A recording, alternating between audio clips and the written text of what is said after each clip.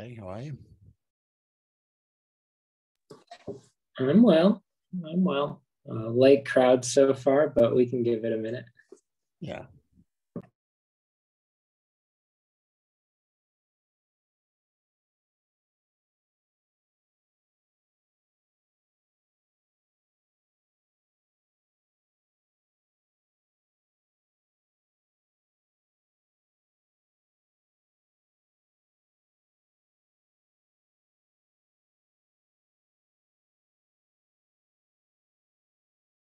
Joining us from the holodeck today, are you?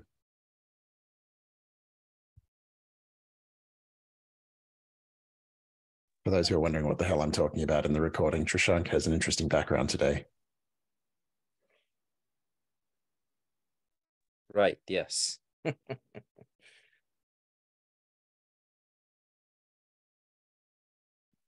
give it another minute or two before we formally kick off. Um,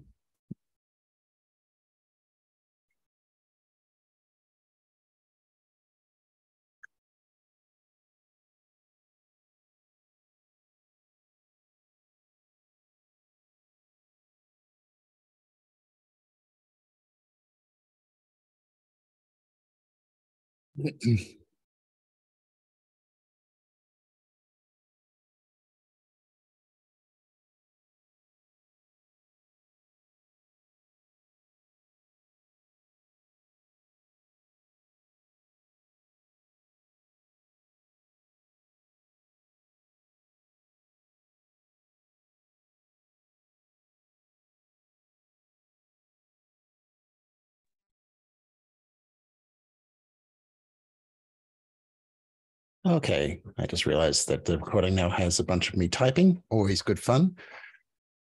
Good morning, good afternoon, good evening, everybody. I hope you're all well.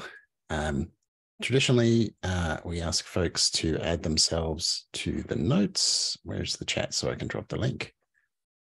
Um, just basically so that we remember who was where and when, uh, because certainly I'm not very good at that. Um, the other thing we'd like to do is to kick off with new faces. And I see some folks who might be new if, if they would like to introduce themselves. Sure. Uh, hi, my name is Jeremiah. Um, I am working uh, at Anaconda right now, and I'm working on uh, some of our security tooling uh, focused around SBOMs and CVEs. And uh, yeah, I just wanted to sort of pop in and learn a little bit more about contributing and and just sort of be at least a fly on the wall for the first uh, little bit and learn where I can help. Welcome. Anyone else like to introduce themselves? Okay. Oh, uh, Andrew, if you're talking, you've got your mute on, I think. Or at least I can't hear you.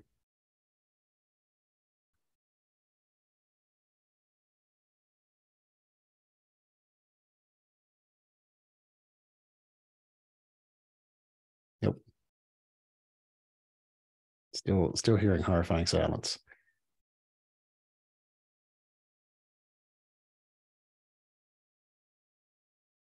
All right, we might press on, and Andrew, if you get a chance when we come back, uh, we can come back to you. Um, okay, so the first item on the agenda is from Dustin, who sends his apologies. He couldn't be here today. Uh, he's drawn our attention to some work being done on the SLSA release candidate. Um, in SLSA, it basically says that you need to distribute provenance information in order to qualify for level three. I think it's been a while since I looked at it. Um, the provenance format and what the exact requirements are are now sort of being discussed. There's a link there. Please take a look when you get a chance. Um, I looked through the release candidate one of SLSA, and there were sort of like a few to dos in that draft. Uh, so I think this is one of the big ones that needs to be worked out. Um, particularly of interest because I think as different ecosystems evolve, we will eventually all get around to the business of providing provenance when it is possible to do so. Um, and by that I mean uh, essentially, you know, documentation that shows how the thing was built or where it was built or who built it, and that sort of thing. Uh, were there any questions or discussion people wanted to raise about that topic?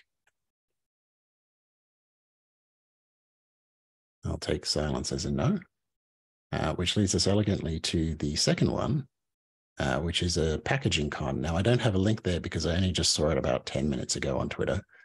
Uh, but Packaging Con ran, I want to say last year, uh, and was attended by a lot of folks. I think it's relevant to this group, and I would encourage folks to submit papers for it. It's going to be in Berlin. I can't remember when. Again, ten minutes ago.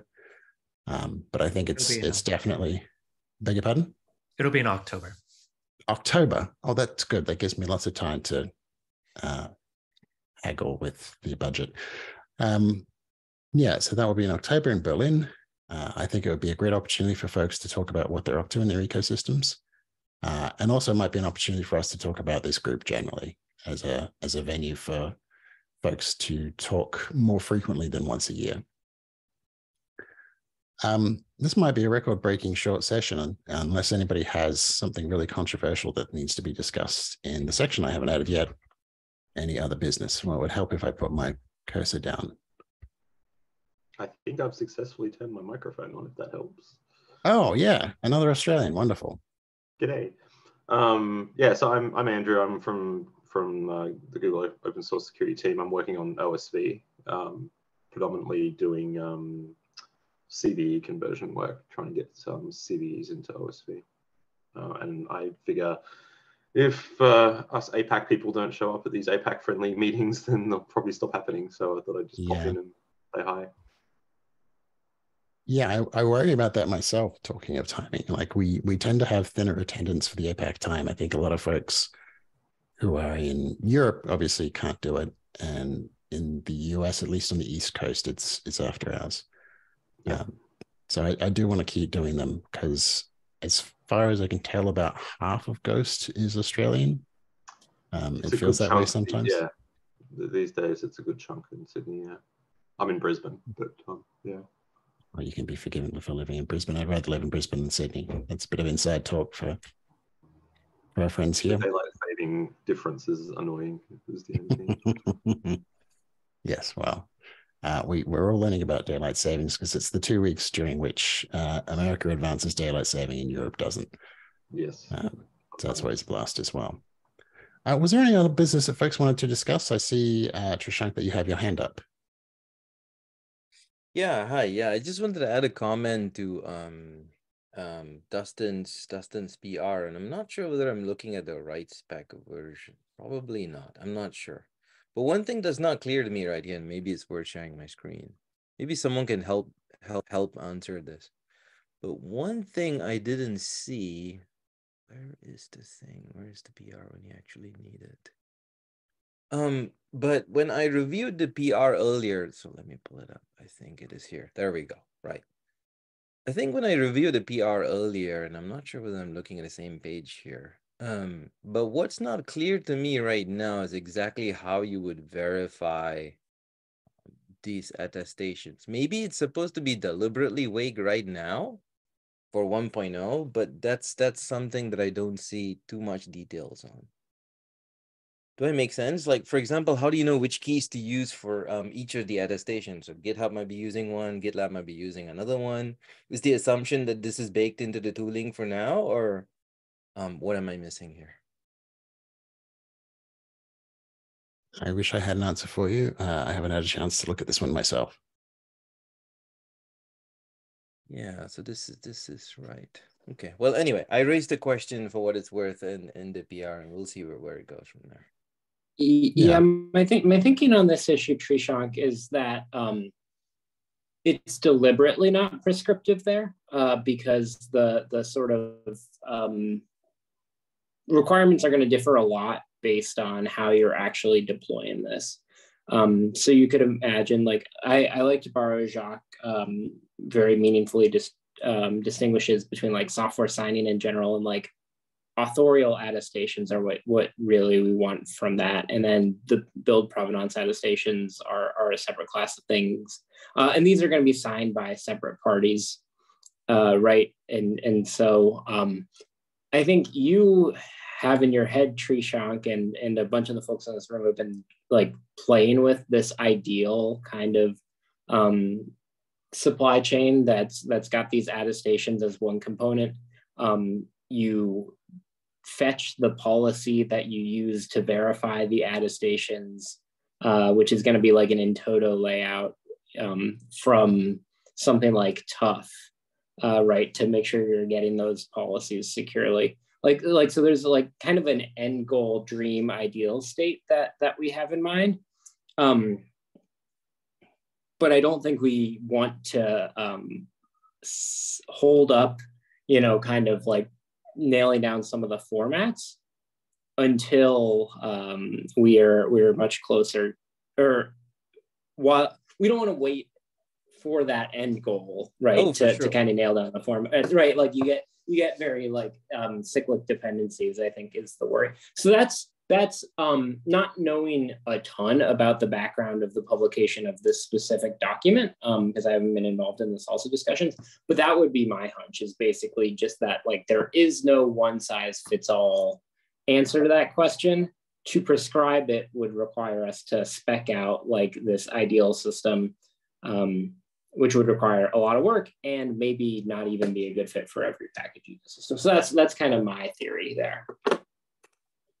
Exactly. No, I guess I guess this is something that I need to bring up to the um SLSA, but but you know, agreed. Yeah, we shouldn't we shouldn't hold up SLSA, which I think is deliberately focused on the build track now for this reason, right? Um what what I'm slightly worried is about is about the accidental uh, what's what's the word for it? Bifurcation of verification standards, you know, the, the but I guess we will figure this out all organically. Is there a particular bifurcation that you foresee or or are worried about? I'm, I'm sort of curious about this because I this is this is new to me. Oh, uh, I think I think it could very easily happen accidentally, right? Um, that people will come up with their own standards for, and there's nothing necessarily wrong with that. It's just that you you're gonna need to write different tooling for different ecosystems. Maybe that's not a bad thing. I'm just worried about how this will all actually play out in practice. Yeah, I think I think um, this is this effort is meant to sort of try to um, limit the extent to which that happens, right? I think it was inspired in part by uh, npm's build provenance, uh, which is which is sort of coming out. Um, right. And I think in the near term, it's very much going to be every you know package manager for themselves in terms of writing a verifier and and writing verification policy. Um, the hope is that you know once we have a couple of examples um, first that the everyone who's early in creating those examples is talking to each other. So we can reuse again like like provenance formats so that's exactly what's going on here. Um, and then you know sort of as as we see these used in a couple of different cases um, you know we can we can sort of generalize and, and zoom out and, and try to again run the verification code not directly in um, you know npm's implementation but rather npm just shells out to in toto or, or something like that. Um, you know but, but like basically the the verification policy hopefully becomes uh, language agnostic. Um, but I think I think we can start with it, you know, where where it is for now, with like special casing in each package manager, um, and then hopefully, um, you know, as as the the sort of like each component gets standardized in a way that meets all the needs, we can we can then replace the the ad hoc implementations with um, you know with shared ones. And I think again by by the formats are what are going to really be killer there if there is, you know, like that's where bifurcation is is deadly. You know, bifurcation in implementations is is less worrisome to me because we can converge, we can we can sort of make make them compatible and and replace, you know, kind of the the specific implementation with a with a general one. So I'm, I'm cautiously optimistic, I guess I would say but I, I, think you're right to bring bring it up as a as a concern and something we should we should be keeping an eye on, and, and hopefully that's part of the role of this group, uh, right? Is to just uh, monitor, you know, and if it seems like someone's going to go build something that's fundamentally incompatible with everything else and isn't leading to this, you know, unified vision. And obviously, we don't want to impose a, this unified vision on anyone, but we do want to be able to leverage common tooling and and only do things once where we where we don't have to. No, I think I think that's a great summary. Thanks. So, so my rough understanding is it seems to be that we're deliberately saying let's let's start, let's iterate. Right, we're starting with a build track, so we got build provenance attestations, and then probably we start adding source, uh, source track attestations. I wouldn't be surprised. And eventually, package registries will have their own kind of attestations. I guess eventually we'll have uh, an in toto policy to piece all of this together. That's a missing part of the picture too. Yes, exactly. And and my my hope is that perhaps um perhaps in toto is where sort of the drive for for unifying all of this can come from because in toto is is the the sort of piece that lets you specify you know my package is secure if it was signed by Trishank and it's got a build attestation from one of these small number of, of trusted build services. Um, and and that's that part. If Intoto understands the the attestation format that we're using, right. then I think we're in actually quite good shape. Um, you know, I, I think I think Intoto is like a really great place to to sort of generalize and, and push it sort of you know raises the question of how do you get the policy for any individual package for you know how do you get that in toto layout? And again i think that's where where the Intoto folks have been um, talking to the um, uh, TUF folks. Um, and and that's that that seam right now i think isn't incredibly smooth but like there there's work in progress on how how that interaction is going to go Cool. Yeah, no, no, thanks for the summary. I appreciate it. Yeah. No, and again, I don't I don't want to be uh, you know, sort of blithely optimistic. Uh, I, I think uh, you know, you're you're right to this is something we got to keep an eye on and, and left unchecked, you know, uh, open source uh, ecosystems are going to do what they do best, which is come up with a million incompatible solutions um, to, you know, which which I think is is especially problematic in a security context. So I'm glad you're bringing it up. And it is something I think a lot about. It sounds like it's something that um, you think a lot about too, and a lot of other folks on this call. So um, let's keep having this discussion, I, th I think. But, but I, I do see a path forward.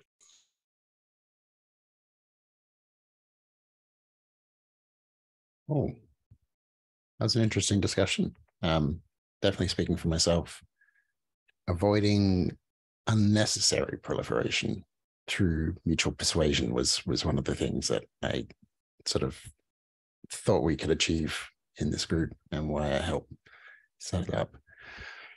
Um, still, any other business that folks have, or should we uh, wrap up early and go our separate ways? And have our morning coffee or our dinner, as the case may be. Going once, going twice. Sold to the man with the blue hat. Okay, everybody. Uh, we will see you next time at the EMEA friendly time. That is uh, 10, I think, a.m. Eastern time. I can't remember what it is, UTC, and I wouldn't even try to guess at the moment. Um, as usual, it will be on the calendar. Uh, I've written some notes, uh, Trishank and Zach, uh, how I thought your conversation went. Please check to see that I didn't misquote you or, you know, create legal obligations that you'll regret for the rest of your life, that sort of thing. legal obligations. Okay, now I have to go read it. I'm joking. All right. Well, thank you, everybody. I hope you have a great day, evening, uh, or afternoon, as the case may be, and we will see you next time. Thanks very much. Ciao. Thanks. Bye. Bye. Bye.